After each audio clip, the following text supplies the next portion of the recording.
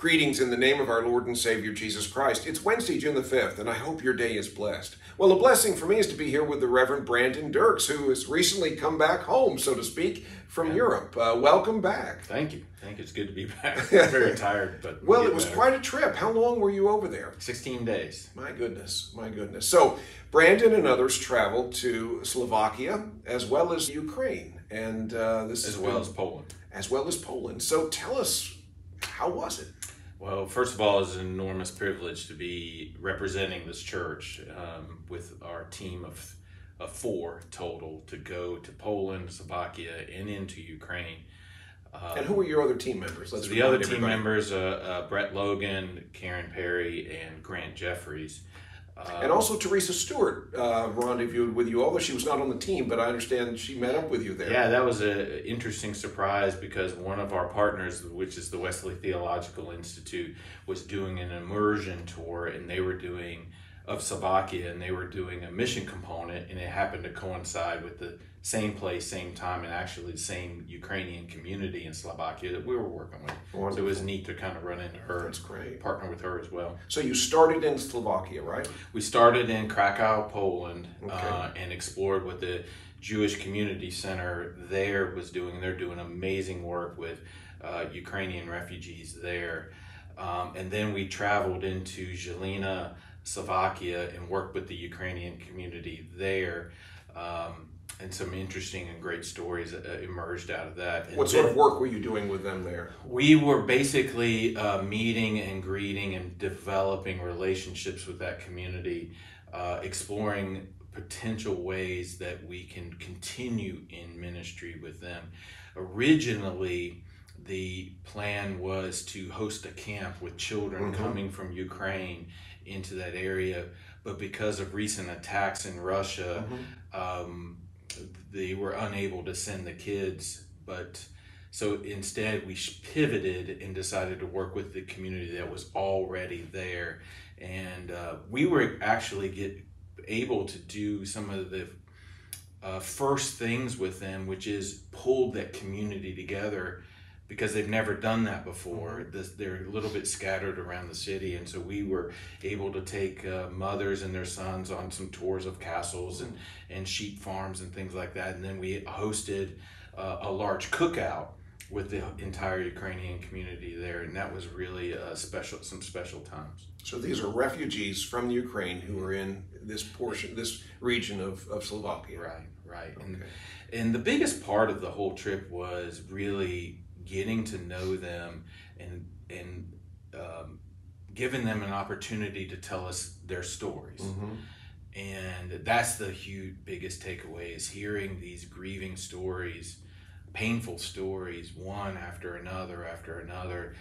Um, Do any of those stand out for you? Uh, one in particular is uh, Victoria from actually the Jewish Community Center in Krakow. She um, left Kharkiv, Ukraine, at the beginning of the war. She was pregnant, mm. a couple of months pregnant, and when she left the country, uh, she was looking for a place and had a very difficult time finding a place in Europe that would welcome her and um, take care of her because uh, she was alone.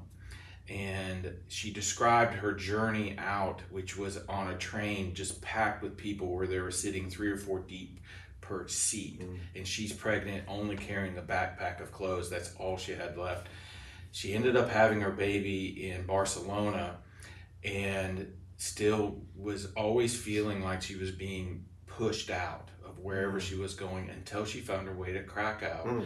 And the Jewish community there really embraced her, really helped take care of her in those early days with the baby. Mm. And I got to see the baby, and it's now two years old and our team got to play Legos with them, and we did some dances with them. But her story of grief, you can just tell on her face that, uh, and she even said that it was God that led her to this place in in uh, Krakow. So there's much much more to that mm-hmm. story and stories in general. But um, so there are stories of hope, but they're mostly all come from a place of pain. Mm.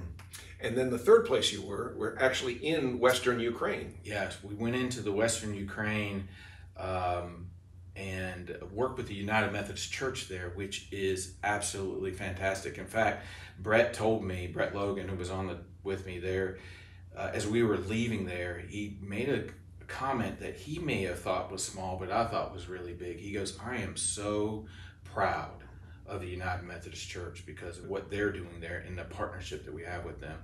They actually have several things going on. One in particular is they bought a hotel and are housing what they call displaced Ukrainians there because they're not refugees until they leave the country. So we talk about 30 million refugees leaving the country. That does not include all of the displaced Ukrainians who are still in the country. And in this hotel, they have two or three families mm. living per room in this place. Mm. And so we got to live with them in this place for five days, four days really, and uh, got to hear their stories and things like that. Um, they also have some other short term um, uh, places, but one of the coolest memories I have with there is I didn't know this ahead of time, but they invited me to preach at their church, and so I got to preach at two United Methodist churches there. Uh, I really pray that I represented our church. well sure, you did. How how did that go? I think it went really well. It's hard to preach when you have to pause every sentence with an mm-hmm. interpreter. Sure. Um, but uh, I think it were, went really well. Um, you know, Brett and Grant both told me that I did a really good job, and mm-hmm. what else are they going to say? was it was one of my more meaningful experiences. Oh, I'm sure it was. I'm sure it was. Well, anything else that you can think back as you reflect on your experience there that you'd like to share today? Um, I, I'm just really touched that this church, and this is the message I really want to get out, and thank you for this opportunity, that this church really is interested in being involved in a relevant mm-hmm. way um, with people that are halfway across the world. Mm. Um, and when it's not completely sure of what difference we're really mm-hmm. making, um, that this church, that this is the kind of church that cares for people here in Charlotte, here in our region, and all the way around the world. It is really an impressive thing. Mm. Thank you for sharing that.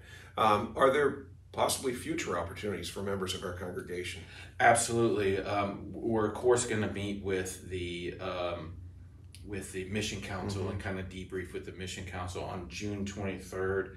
Uh, I think you've invited me to preach. I'm sure there will be stories that are going to come out on that Sunday. Um, and then also on July the 14th during the one room schoolhouse in Wolf Hall, where all the adult classes mm-hmm. are invited to come together. Um, Teresa Dunn, our uh, director of adult discipleship, invited our team to make a presentation. So I hope you all come out. Very good, very good. Well, um, while I've got you, there's uh, some big things happening with regard to the Charlotte Rescue Mission uh, this weekend. In fact, yeah, right?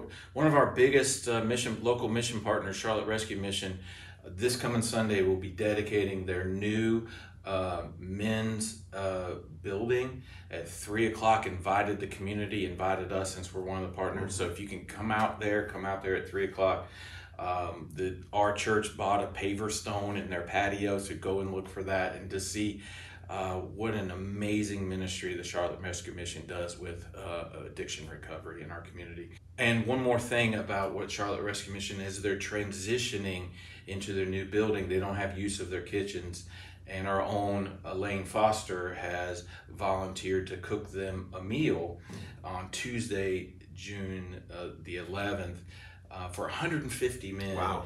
And uh, so she's asking the congregation to help out by uh, bringing donations of individual um, potato chips uh, mm-hmm. by this Sunday so she can bring them over there on on Tuesday. So the small bags of potato chips, bags. in other words. Yeah, any flavors. Yeah, and, and where do we drop them off? Here at the church at the front desk. Okay, fantastic. Yeah. Fantastic. Well, Brandon, welcome again. Welcome Thanks. back home. And uh, so glad that everyone got there safely and got back safely. But praise the Lord for the wonderful experiences that you had in representing our church. Uh, so we thank you very much.